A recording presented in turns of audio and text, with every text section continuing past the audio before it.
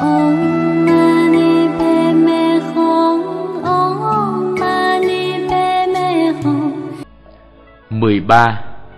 Hê rị Maha Bàn Đa Sa Mế Hê rị có nghĩa là tâm, tâm này có ý nghĩa gì trong mười ý nghĩa? Nghĩa thứ tư là vô nhiễm trước tâm, tâm này giúp cho quý vị duy trì bản tâm thanh tịnh của mình. Khi quý vị khởi tâm niệm tham, sân, si, mạng, nghi, thì tâm quý vị liền bị ô nhiễm, không còn thanh tịnh nữa. Khi tâm quý vị không móng khởi những niệm ô nhiễm ấy, thì tâm quý vị được thanh tịnh. Maha có nghĩa là đại, cũng có nghĩa là trường. Bàn đà sa mế nghĩa là sao? Nếu tôi không nói chắc quý vị chẳng thể nào biết được, nên quý vị muốn biết thì trước tiên tôi phải giảng, lúc đó quý vị mới hiểu được. Quý vị mới nói rằng thì ra ý nghĩa của câu chú ấy là như thế. Bàn đà sa mế có nghĩa là đại quang minh, nghĩa là hào quang rực rỡ chiếu khắp. Bàn đà sa mế lại còn được dịch là trường chiếu mệnh, nghĩa là ánh sáng thường chiếu sôi rộng khắp mọi nơi. Nguyên câu Heri Rị Maha Bàn Đa Sa Mế có nghĩa là tâm đại quang minh, nghĩa là ánh sáng của tâm lực, quang minh của tâm lực thường chiếu rộng khắp, mãi mãi siêu việt cả không gian vô cùng, thời gian vô tận, từ một di trần cho đến vô cùng vô tận thế giới đều có sự hiện hữu của ánh sáng ấy. Quý vị sẽ nói, à, cái đại quang minh của tâm ấy tôi đã nghe trong kinh giảng nói rất nhiều rồi và dân nhưng trừ phi quý vị không nghe tôi giảng giải thần chú đại bi thì quý vị không thể nào biết được. Tôi sẽ giảng cho quý vị rõ. Thật là khó gặp được người nào có thể giảng giải về chú đại bi một cách rõ ràng tường tận. Thực vậy, hoàn toàn thực tình mà nói, không mấy người thể nhập được rốt ráo ý nghĩa của thần chú đại bi hoặc là chuyển được ý nghĩa của thần chú. Sẽ có người hỏi, thế làm sao sư phụ biết được? Quý vị khỏi cần phải hỏi tôi, vì tôi đã không hỏi thì thôi, chứ quý vị đừng nên hỏi tôi tại sao mà tôi biết được. Dĩ nhiên là tôi phải biết, nếu tôi không biết tôi không thể nào giảng giải cho quý vị nghe được, vì thế đừng nên hỏi tại sao tôi lại biết. Thay vì quý vị hỏi tại sao tôi biết thì quý vị hãy quay trở lại hỏi chính mình, tại sao mình lại không biết? Nếu quý vị biết được lý do tại sao mình không biết thì quý vị sẽ rõ được tại sao tôi biết. Trái lại, nếu quý vị không thể nào rõ được tại sao quý vị không biết, thì quý vị cũng không thể nào rõ được lý do tại sao tôi biết. Đó chính là điều làm nên sự kỳ diệu vậy. Chẳng hạn có người đã hỏi tôi rằng, tại sao thầy làm người xuất gia? Tôi đã không trả lời câu hỏi đó mà lại hỏi rằng, tại sao anh lại không làm người xuất gia? Nếu anh biết được lý do vì sao anh không xuất gia, thì anh sẽ hiểu được vì sao tôi lại xuất gia. Hỏi về đạo lý trong Phật Pháp cũng như vậy. Thay vì quý vị hỏi làm sao mà tôi hiểu được đạo lý ấy, thì quý vị hãy tự hỏi lại chính mình tại sao mình không hiểu được. Khi quý vị đã hiểu được tại sao mình không biết, thì quý vị sẽ hiểu được tại sao tôi lại biết được đạo lý ấy. Này quý vị đều là những người có nhiều thiện căn nên được dự pháp hội giảng chú đại bi, vậy quý vị phải nên hộ trì, bảo trọng cho thiện căn của mình tự mình phải khéo vận dụng thiện căn ấy để tu học và liễu nhập Phật Pháp, đừng để hoài phí một phút giây nào cả. Hiện tại chúng ta đang sống vào thời mạt Pháp, chư Phật và Bồ Tát rất ít thị hiện ở thế gian. Thời gian này, lòng người đang tiến dần đến chỗ hoang liêu điêu tàn, không dễ gì gặp được chánh Pháp, cũng không dễ gì gặp được bậc chân thiện tri thức. Có lần tôi bảo các đệ tử rằng, ở Đài Loan có mở đại giới đàn, năm huynh đệ các con nên đến đó cầu thỉnh để được thọ giới pháp. Các đệ tử gửi thư cho tôi biết nhiều người ở Đài Loan nói với họ rằng chẳng cần phải tu hành gì cũng có thể thành tựu đạo nghiệp. Các đệ tử của tôi trả lời rằng chúng tôi cũng là những con người như những con người khác, nếu không chịu tu hành thì làm sao có thể tự thành Phật đạo? Nếu không công phu hành trì thì làm sao liễu ngộ được chánh pháp? Nếu quý vị nói rằng không cần phải dụng công tu tập mà cũng thành Phật, liễu đạo thì trước đây Đức Phật chẳng cần vào núi tuyết tu suốt sáu năm làm gì, rồi sau đó đến ngồi với cội Bồ đề tinh chuyên thiền định suốt bốn mươi chín ngày, đến khi sao mai vừa mọc thì Ngài tự thành chánh giác. Đức Phật còn phải tu hành mới thành tựu chánh giác, còn mọi chúng sinh như chúng ta nếu không tinh tấn tu hành thì làm sao có thể thành Phật được? Ai ai cũng đều biết phải nhờ vào tu hành mới đạt được Phật quả, nhưng người chân thật tu hành thì rất ít, và ai cũng đều biết nếu không chịu tu hành thì đều có thể bị đọa vào địa ngục, nhưng người không chịu tu hành thì không sao kể xiết. Nghiệp lực thế gian thật là không thể nghĩ bàn. Quý Phật tử, sống trong thời mạt Pháp mà có được điều kiện để nghiên cứu Phật Pháp thì nên dũng mãnh tinh tấn lên, không nên biến nhát, hãy siêng năng công phu, tinh cần đạo nghiệp mới mong có ngày thành tựu. Nếu không tinh tấn dũng mãnh mà mong thành tựu đạo nghiệp thì không thể nào có được. Vì thế nên quý vị đừng ngại gian nan, khổ nhọc, chướng duyên, tai ách, mọi thứ nên quên. Phải đánh trống dũng mãnh lên để cho tinh thần phấn chấn, chỉ một hướng thẳng đến công phu mới mong có ngày thành tựu quả vị Phật. Tôi đang nói về sự di diệu của Phật Pháp. Nếu quý vị không phát khởi niềm tin vào trí tuệ siêu việt, thì đạo lý này đối với quý vị cũng chẳng có lợi ích gì. Quý vị có thể thâm nhập Phật Pháp từ mọi sinh hoạt trong cuộc sống, từ mỗi bước chân lặng lẽ của thời gian trong toàn thể Pháp giới. Trong Phật Pháp, điều gì quý vị cũng muốn diễn bày cho rõ ràng minh bạch thì thường bị đánh mất những lý sâu màu di diệu. Nay dù tôi có trình bày hết diệu lý của Phật Pháp, nhưng nếu quý vị không tin sâu và không hành trì, thì điều tôi giảng không còn là diệu Pháp nữa. Hơn nữa, sự hành trì cần phải thường xuyên vào mọi lúc mọi nơi với tinh thần tinh tấn, không lui sụt, không biến nhát. Đây là điều khẩn thiết nhất nếu quý vị mọi thời, mọi lúc đều hướng về phía trước mà nỗ lực công phu thì nhất định một ngày kia sẽ trực nhận ra mặt mày xưa cũ của chính mình. Bàn đà sa mế dịch nghĩa là đại quang minh hay trường chiếu minh, tiêu biểu cho nghĩa thứ năm trong mười nghĩa của tâm, đó là quán tâm không. Thông qua quán tâm không, hành giả mới có được trí tuệ. Với trí tuệ, hành giả mới có được quang minh, có được quang minh mới tỏa chiếu soi sáng khắp mọi pháp giới được tức là không còn tối tâm mê muội tức là không còn vô minh sao gọi là vô minh vì tâm của quý vị không có được sự tỏa chiếu soi sáng khắp mọi pháp giới, do vì quý vị không có được đại quang minh nếu quý vị có được đại quang minh, thì tâm quý vị liền có được sự tỏa chiếu soi sáng khắp mọi pháp giới có nghĩa là quý vị đã chuyển hóa được vô minh. Một khi vô minh đã bị chuyển hóa sạch rồi, thì pháp tánh hiển hiện. Đây chính là trí tuệ chân thật của quý vị. Thuở xưa vào triều đại nhà Lương ở Trung Hoa, có thiền sư Chí Công là một bậc đại đức cao tăng. Không sử sách nào ghi lại song thân của thiền sư là ai. Người ta thường kể với nhau rằng, một hôm nọ, có người phụ nữ nghe tiếng khóc của một hài nhi trên cành cây cao Cô ta trèo lên, thấy một hài nhi nằm trong tổ chim ưng, bèn đem hài nhi về nuôi.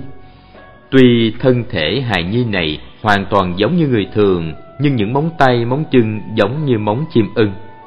Khi trưởng thành, xuất gia tu đạo, chứng được ngũ nhãn lục thông, không biết cha mẹ ngài là ai, chỉ biết ngài sinh trong tổ chim ưng, nên mọi người đều phỏng đoán ngài được sinh ra từ trứng chim ưng vậy.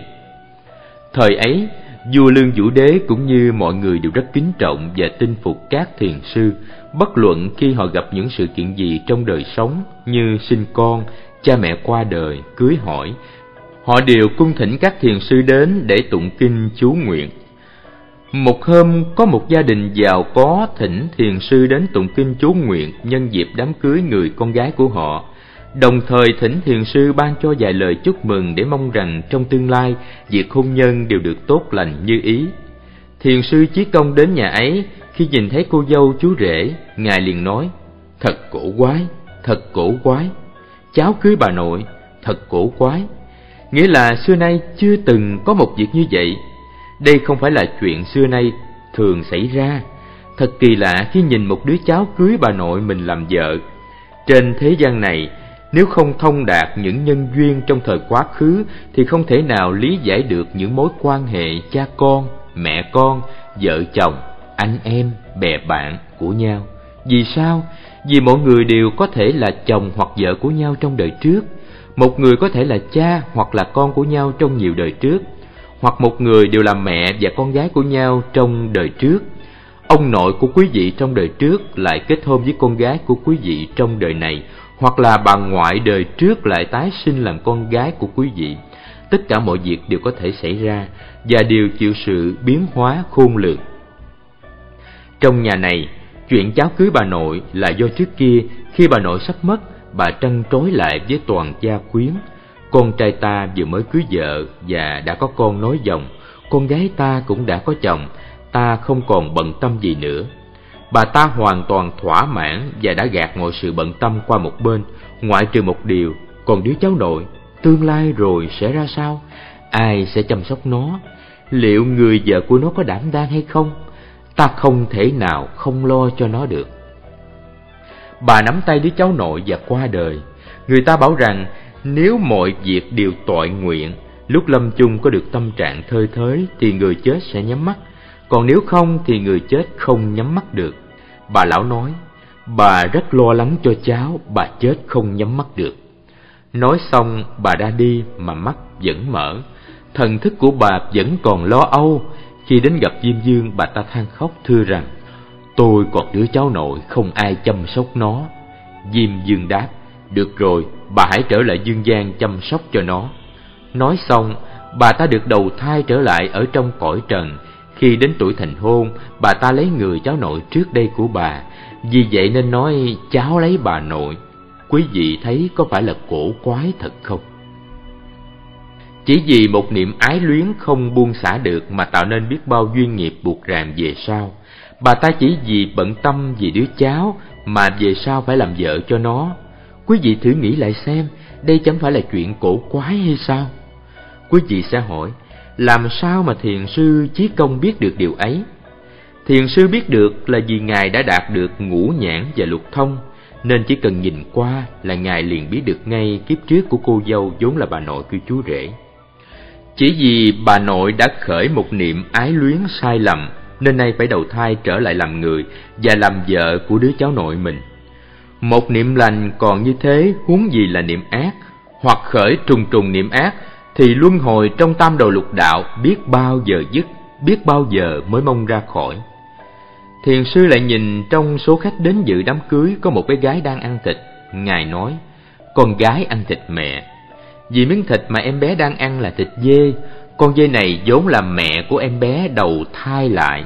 Kiếp trước bà ta đã tạo nghiệp ác quá lớn nên phải đọa làm dê, nay lại bị chính con mình ăn thịt. Dòng oán nghiệp khởi dậy do vô minh của chúng sinh không lời nào kể hết được. Chư Bồ Tát thương xót, phát tâm cứu độ chúng sinh là do điểm này. Khi thiền sư nhìn các nhạc công thấy có vị đang đánh trống, Ngài nói, con trai đang đánh bố. Vì cái trống ấy bịt bằng da lừa, con lừa này chính là cha của anh nhạc công đầu thai vào, con lừa này bị giết thịt, lấy da làm mặt trống, thật là đau thương cho kiếp luân hồi. Ngài nhìn quanh đám cưới nói tiếp, heo dê ngồi ở trên, Ngài thấy có vô số loài heo, cừu, dê, gà được đầu thai trở lại làm người, nay họ đều là bà con thân quyến của nhau nên cũng đến dự đám cưới này. Nhìn trong bếp, Ngài nói, lục thân bị nấu trong nồi, chính là cha mẹ, anh em, bà con, bè bạn do kiếp trước đã sát sinh heo gà quá nhiều để ăn, nay lại bị đọa làm heo, dê gà trở lại, rồi bị giết thịt bỏ vào nồi chiên nấu trở lại. Ngài nói tiếp, mọi người đều vui vẻ chúc mừng nhau. Mọi người đến dự đám cưới đều rất vui vẻ mà chúc tụng nhau, Ngài tự than với lòng mình rằng, trong thấy cảnh ấy mà lòng đau xót, ta biết đó chính là những oán nghiệp xoay dần, dai trả, tạo nên nỗi khổ chất chồng. Thiền sư Chí Công biết rõ nhân quả khi nhìn vào gia đình này, làm sao chúng ta có thể hiểu được hết chuỗi nhân quả của từng gia đình với trùng trùng khác biệt nhau ra sao? Cho nên, những người tu đạo phải rất cẩn trọng trong khi tu nhân. Vì khi nhân duyên chín mùi thì sẽ gặt lấy quả tương ứng với nhân đã gieo. Tại sao người lại trở lại làm người? Là để trả nợ, trả những món nợ nhân quả ở thế gian. Nếu quý vị không tìm cách trả món nợ này thì nợ nần vẫn tiếp tục như món nợ đã dai của ngân hàng vậy. Tôi nhớ một câu chuyện này nữa. Có một gia đình nuôi một con lừa dùng nó để kéo cối xay và chuyên chở. Người chủ thấy lừa quá chậm chạp nên thường dùng roi đánh nó để thúc giục. Con lừa làm việc miệt mài trong cực nhọc cho đến khi chết, nó được đầu thai làm người. Khi người chủ hay đánh đập lừa chết, lại đầu thai là một người phụ nữ. Khi cả hai người này đến tuổi thành hôn thì họ cưới nhau. Quý vị có biết cặp vợ chồng này sống với nhau như thế nào không? Suốt ngày người chồng đánh đập người vợ, ông đánh vợ bất kỳ lúc nào, bất luận đang cầm vật gì trên tay, cả lúc đang ăn cơm cũng đánh vợ bằng đũa. Ông ta vừa đánh vừa chửi, cho dù người vợ chẳng làm điều gì sai trái. Một hôm thiền sư Chí Công đi qua nhà họ, người phụ nữ bèn thưa với ngài, chồng con ngày nào cũng đánh và chửi con quá chừng mà con không biết tại sao. Bạch ngài, xin ngài hãy dùng ngũ nhãn lục thông bảo cho con biết mối tương quan nhân quả của chúng con đời trước ra sao mà đời nay chồng con đánh đập và chửi mắng con hoài vậy. Thiền sư Chí Công đáp, tôi sẽ nói rõ tương quan nhân quả của hai người cho mà nghe. Trong đời trước, bà là một người đàn ông, Ngày nào bà cũng đánh đập chửi mắng con lừa, thúc giục nó phải kéo cối sai bột. Ông chủ ấy thường đánh con lừa bằng cái chổi tre. Nay ông chủ được đầu thai lại làm người phụ nữ, đó chính là bà. Còn con lừa thì được đầu thai làm người chồng. Nay ông ta thường hay đánh đập chửi mắng bà cũng như kiếp trước bà đã thường đánh chửi ông, tức là con lừa vậy. Nay bà đã hiểu rõ nhân quả tương quan với nhau rồi, tôi sẽ bày cho một cách để chấm dứt dòng quán nghiệp này. Bà hãy cất giấu tất cả mọi dụng cụ trong nhà, ngoại trừ cái chổi đuôi ngựa, chổi dây. Khi người chồng thấy chẳng còn vật gì dùng để đánh cô, anh ta sẽ cầm chổi dây này để đánh. Cứ để cho anh ta đánh vài trăm roi, thì nợ cũ của bà mới được trả.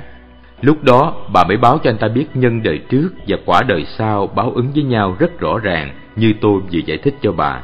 Anh ta sẽ không còn đánh bà nữa. Người phụ nữ làm đúng như lời thiền sư Chí Công chỉ dạy.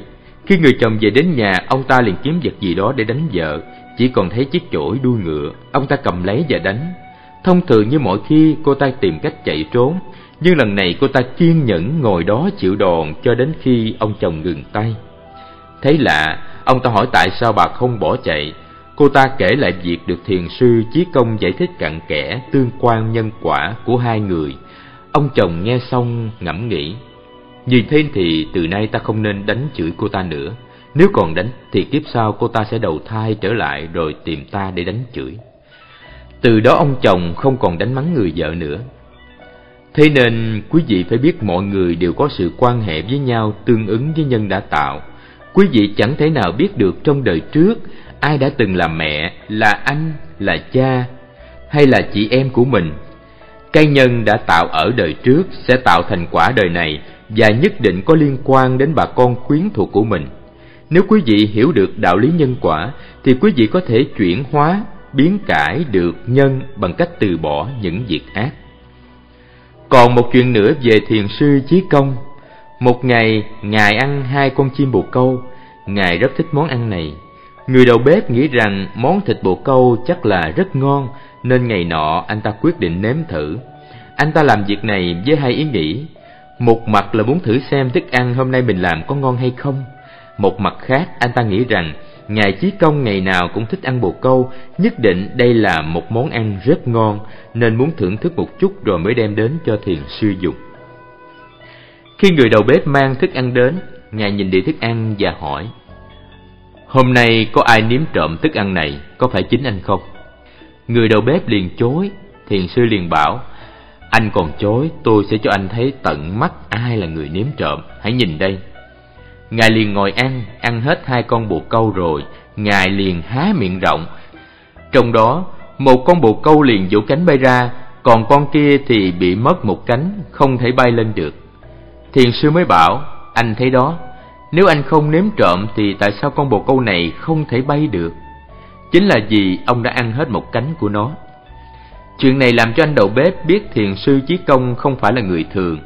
Ngài chính là hóa thân của Bồ Tát. Thế nên Ngài có năng lực biến những con bồ câu bị nấu thành thức ăn rồi thành bồ câu sống. Không phải là Bồ Tát, không làm chuyện này được. Thiền sư Chí Công còn thường ăn một loại cá gọi là tuệ ngư. Cũng đem cá ra nấu nướng rồi Ngài ăn từ đuôi lên đầu. nhưng sau đó Ngài lại há miệng ra làm cá sống lại. Vì vậy những việc này là rất thường đối với cảnh giới của hàng Bồ Tát. Thiền sư Chiết Công là một vị Bồ Tát, nhưng không bao giờ Ngài nói, các ngươi biết không, ta là một vị Bồ Tát, ta đang giáo hóa chúng sanh, ta có đại nguyện này, hạnh nguyện kia. Các vị không bao giờ móng khởi ý niệm ấy, cho nên chúng ta là hàng phàm phu, dù có thấy chư Phật hay Bồ Tát cũng không thể nào nhận biết được. Việc làm của Bồ Tát cũng gần như hành xử của người thường, nhưng thực chất lại không giống nhau. Là vì phàm phu khi hành động chỉ nghĩ đến lợi ích của chính mình, không nghĩ đến sự giúp đỡ cho người khác. Còn Bồ Tát thì chỉ nghĩ đến lợi ích của người khác mà không nghĩ đến mình. Khác nhau là ở điểm này. Bồ Tát thì tự làm lợi ích cho mình còn lo làm lợi ích cho người khác. Tự giác ngộ mình xong rồi giúp cho người khác giác ngộ. Tự độ hoàn toàn, lợi tha hoàn toàn. Ý nghĩa của chú Đại Bi mà tôi đang giảng cũng nằm trong đạo lý này vậy.